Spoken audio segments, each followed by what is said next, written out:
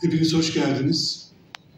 Çok değerli bir şairin, Türkçenin unutulmaz şairlerinden birinin, ilk tanıdığım şairlerden birinin, Metin Altok'un ödül töreninde birlikteyiz.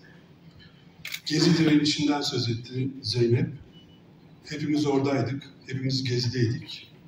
Gezi'yi hayranlıkla selamlıyorum. Onu selamlarken belediyelere atanan kayyumları da protesto ediyorum. Çünkü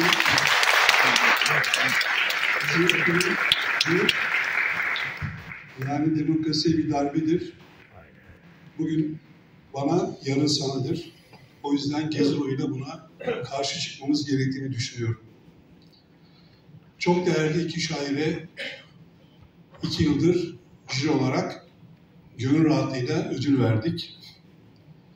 Ödüllerimizin gerekçelerini tıpkı şiirleri gibi çok güzel bir şekilde Şükrü Erbaş yazdı.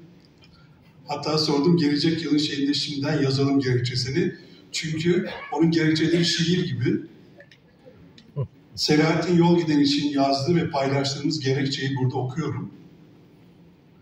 Kaotik bir dünyanın aşktan ölüme, büyümekten yabancılaşmaya, tutkudan vazgeçişe, tarihten geleceğe, bedenden ruha, hemen her alanda parçalanmış, yine de kendi varlığına tutunan insan tekinin boğuntusunu anlatmadaki başarısı, bu anlatımı yeni bir biçim ve yapı içinde okura aktarmada gösterdiği ustalık ve kendi şiirine yeni bir boyut katması nedeniyle Selahattin Yolgiden'in Uyurken de Görebiliyorsun Geceyi kitabı 16.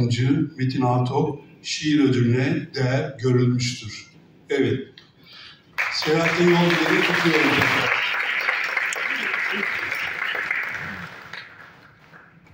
Sevgili Selahattin Yolgiden'i davet ediyoruz. Ee, Sayın Milletvekilimiz Sezgin Tanrıkulu da bize eşlik etmek isterse buraya bekleriz. Henüz ayrılmadıysa bir yere yetişecektir.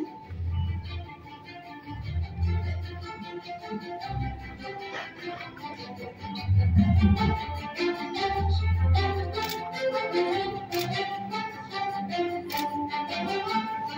you.